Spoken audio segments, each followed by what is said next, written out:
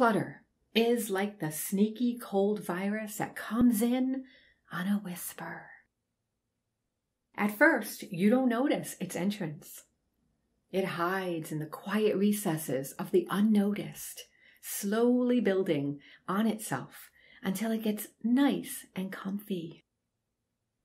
Then it begins to multiply, stretching beyond natural, taking over territories not able to coexist peacefully in its presence. Before long, it clouds the once pure space that offered tranquility and rest. It thrives in the new chaos that it forms, casting upon us an obnoxious force that inevitably overruns the very environment that we need to sustain our focus, health, and overall quality of life. Quite frankly, clutter gets in the way. Clutter tempts us to procrastinate. That's right. It beckons us to focus on what's around us instead of what's right smack in front of us, the things we should be paying attention to. Clutter is like a clogged highway. It doesn't allow for freedom of movement. Horns are beeping, tempers are flaring, and we are just idle, unable to get away from the mess. We cannot accelerate. We cannot flee the scene. We are prisoners to the limitations set by the conditions. No matter how much we focus on getting out of the madness, we simply cannot. We have left no room to circumvent the charged emotions or the pileup of excess. We find ourselves stuck in the middle of the crazed chaos, and unless we choose to forego the similar roadways in the future, we are at risk of losing ground on our pursuits. As the clutter progresses, we further digress. Clutter is toxic. It eats away at our prolific intentions. It covers us in a film of weariness and frustration that clouds our creative ingenuity. Clutter enters our lives in many forms. It can be in the form of low yield tasks physical stuff, emotional demands placed on us, or even constant worry over things way outside of our control.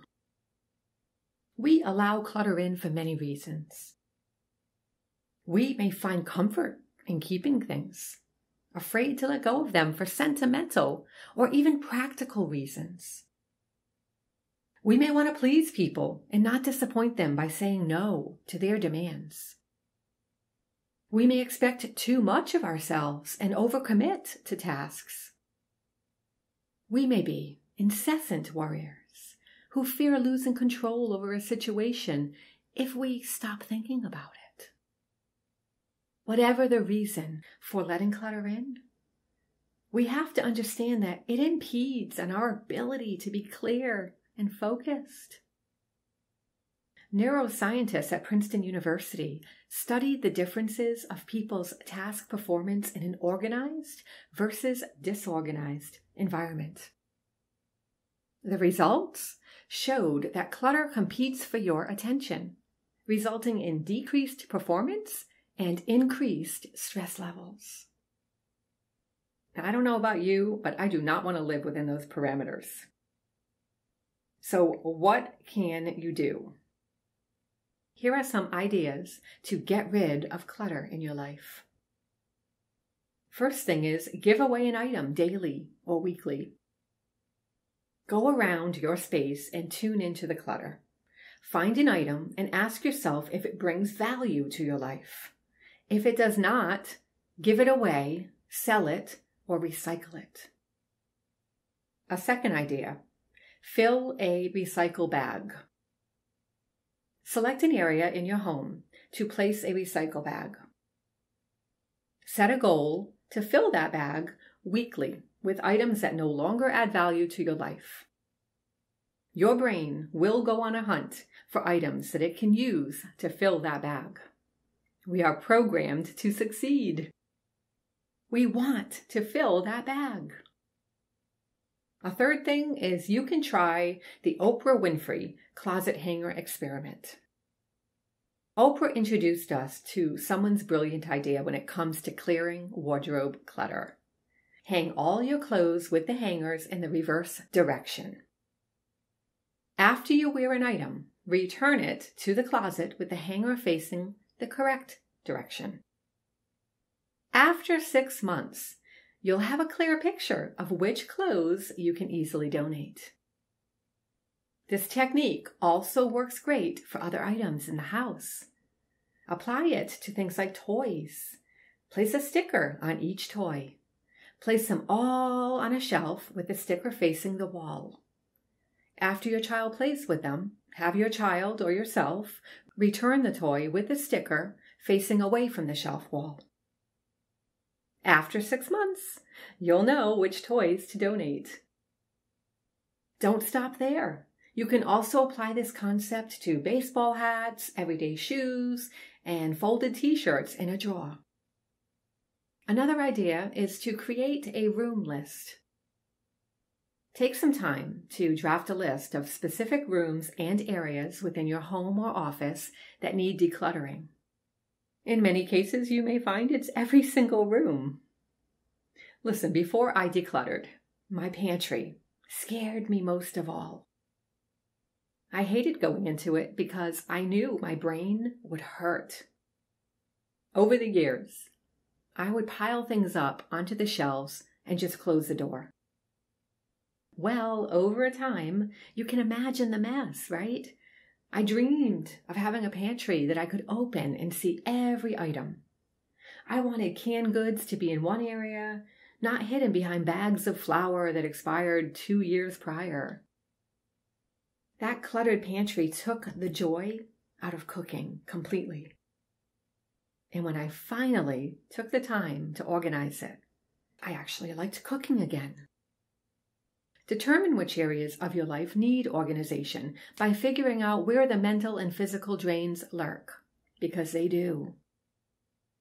And after you have made your list, commit to tackling one space per week. Another idea get a new view. I always say that my house is cleanest right before I'm expecting company. This is when I go into ultra organizing mode.